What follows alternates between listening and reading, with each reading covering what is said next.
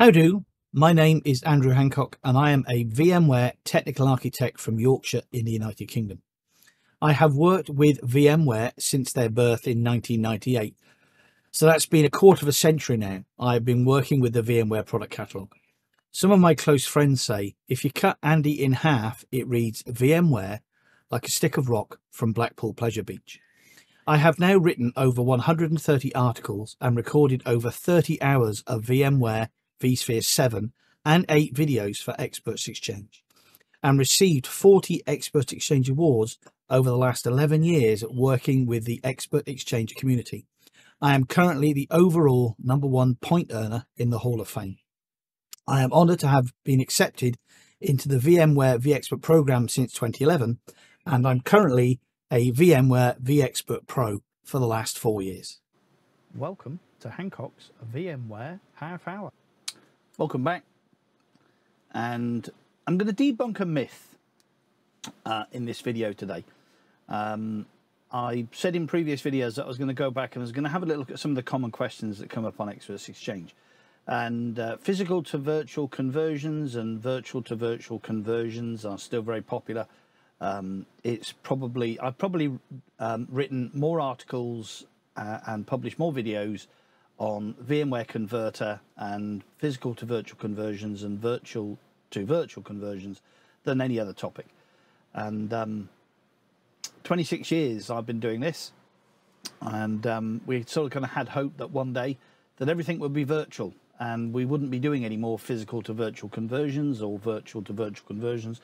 But there are still good reasons to do them and extending um, a legacy platform or extending a hardware platform um, that's failed and the software on it is bound to Windows 7. Organizations not going to upgrade the software or not going to not going to upgrade the hardware like CNC machines and machines in semiconductor industry which are um, connected to machines and in the fab. Um, so there are lots of good reasons to be doing physical to virtual conversions and virtual virtual to virtual conversions today. Um, VMware Converter ha has been the product of choice in the VMware world now for many, many years. Uh, however, it, you know, it was discontinued um, before October 2022. Um, yeah, 2019, December 2019, VMware Converter was actually withdrawn because um, some customers had actually basically found um, some security issues with the product. excuse me, um, 100 day cough now. Um, so they found some security issues with the product. So basically, VMware decided that that was it. They had withdrawn the product in December 2019. So any product issued before 2019 does have a security issue. Let's just make that completely clear. Um, VMware released 6.4 and now 6.6, um, which was a surprise because everybody really thought that VMware Converter was uh, going away. It was not going to be released again. It was not going to be fixed, but it came back in October 22 uh, with 6.4, and now we're in 6.6 of it. However, I have actually produced videos before um, on how to uh, P2V, Windows XP or Windows 2003 using 6.2 or 6.3 because there does seem to be an awful lot of urban legend out there about, oh, VMware Converter cannot convert um, a particular product um, or it's not supported. Um, and not supported really sort of kind of means that VMware can no longer support the operating system they want to convert because the operating system is no longer supported by the vendor. So if Microsoft are no longer supporting, we'll in this particular instance look at Windows 7.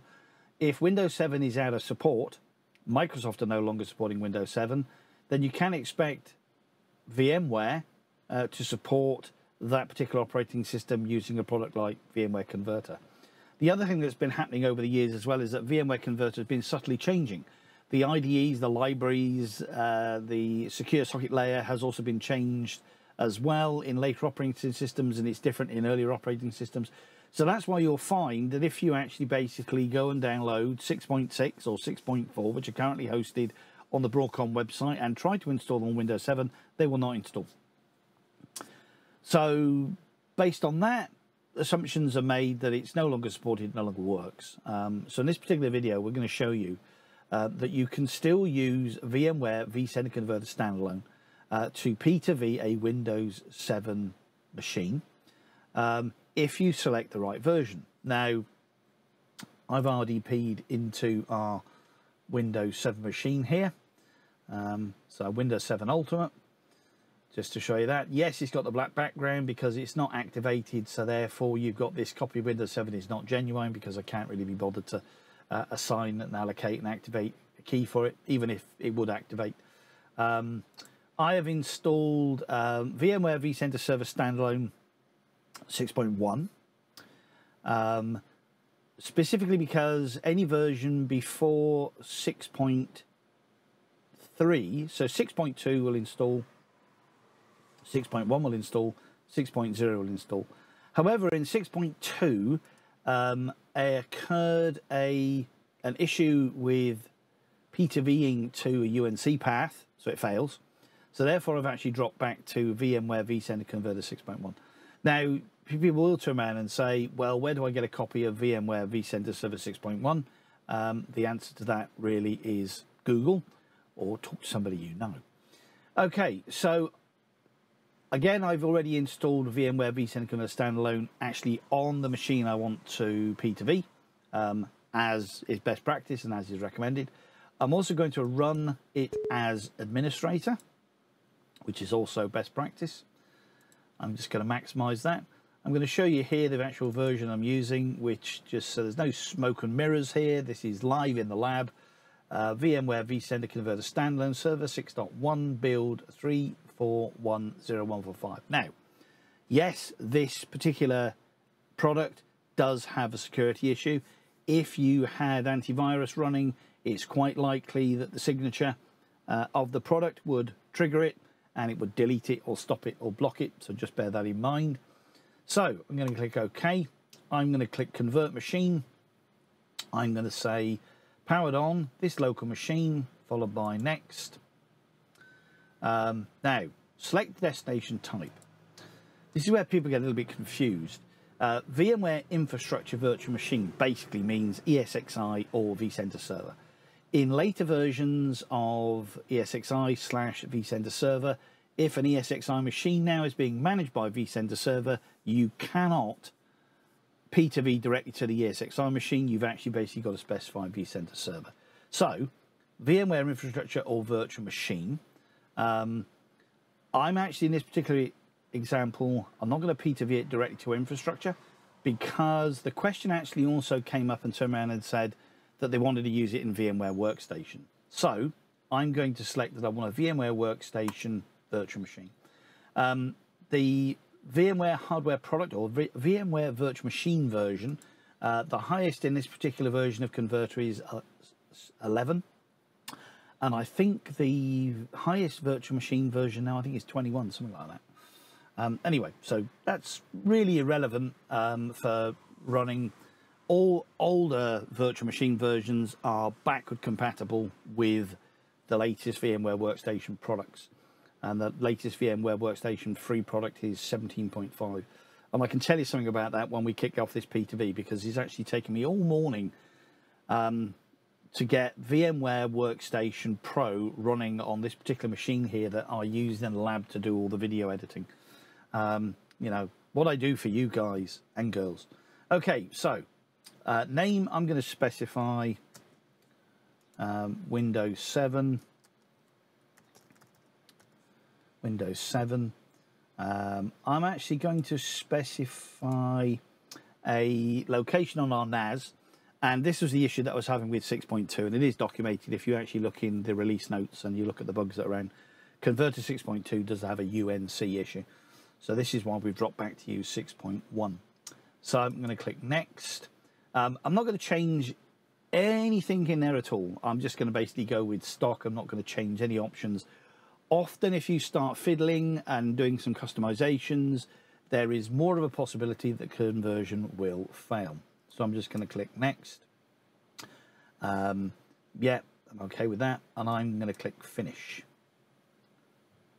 Um, the light went off then. I think it was probably doing a firmware upgrade or aliens are coming. Um, okay, so usually a VMware conversion will fail at probably about 1 to 3% uh, and at 98% and above. If it fails between 3% and 98%, usually that's because there is a fault on the disk.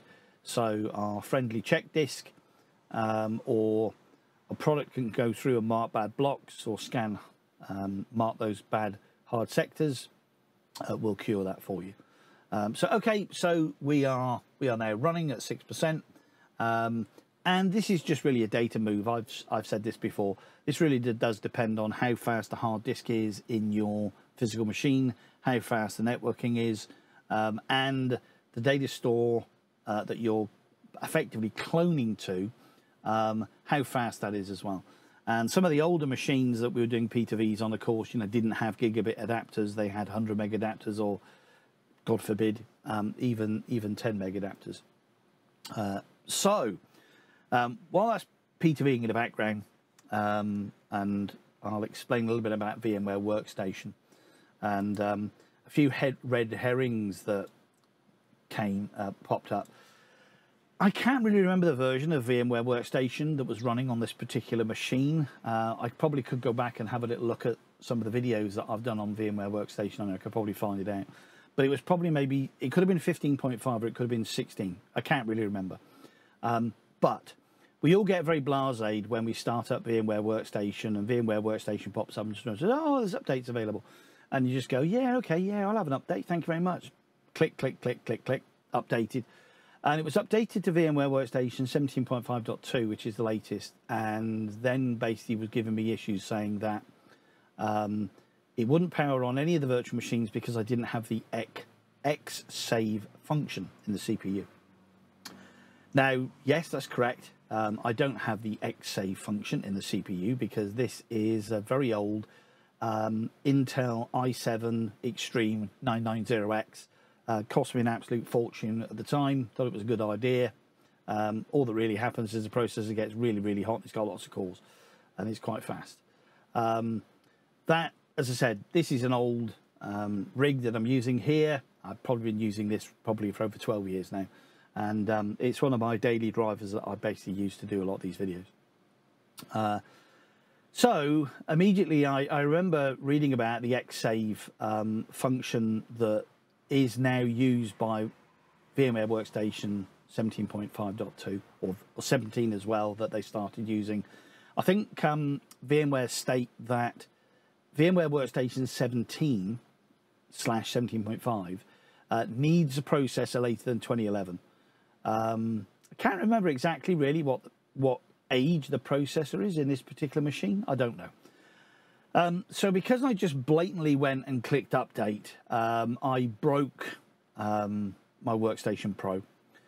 Um, so I thought the simple answer really would be to roll back uh, to 16 and oddly, I was still getting the same message telling me about the Xsave function in, in 16. So I checked the release notes, and the release notes for 16 does state that it supports processors 2011 and later, but it also turns around and says that it also still supports the Westmere uh, generation of processors, which I actually basically think that this i7 is is based on.